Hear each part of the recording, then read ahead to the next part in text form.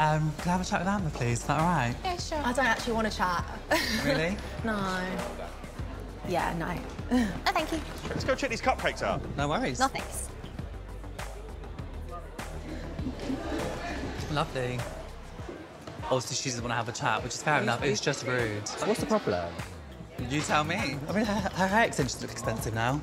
They don't look cheap anymore. Sinead, I, Yeah. I literally sat there and said we would make things sweet. Oh. You didn't make dish. Making Beans dish is a And I wanted to have a conversation, Let's though. It's a baby shower. Let's have No, No, I some wanted to have a fun. do conversation. It's rude, though, not to say hello.